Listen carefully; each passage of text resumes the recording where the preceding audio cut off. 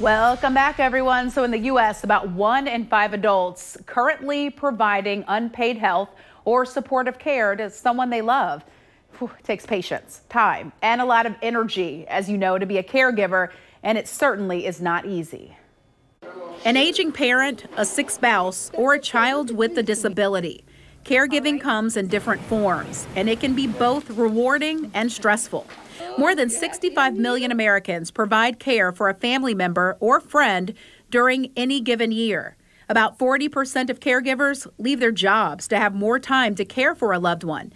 And about half of all caregivers feel they have no choice about taking on that responsibility. So, what makes for a good caregiver? The first step is to take care of yourself.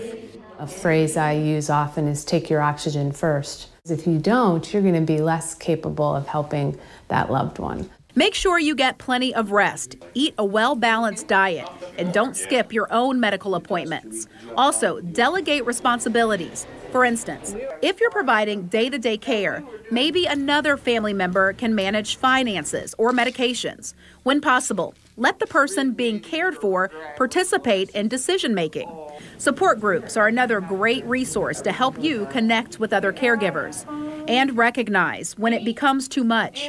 You might want to consider an assisted living or other type of facility for your loved ones. You can spend your time in a much more quality filled way than when you were having to dole out the medicine and fight with them to get a shower and do those, you know, tasks.